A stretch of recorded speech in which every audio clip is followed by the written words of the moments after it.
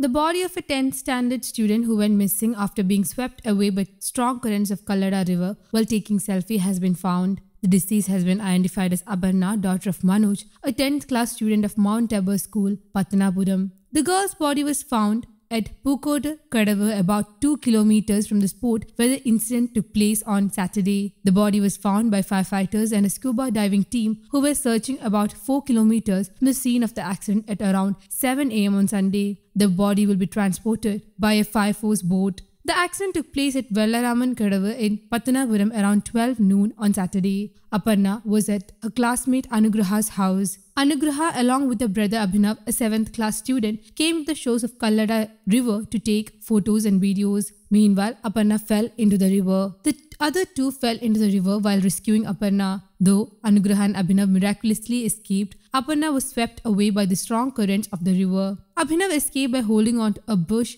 while floating in the river. The locals rescued Anugraha, who was trapped in a rock in the flood waters of the river. Rescue operations were also hampered by intermittent heavy rains in the area. News Desk Kaumudy Global.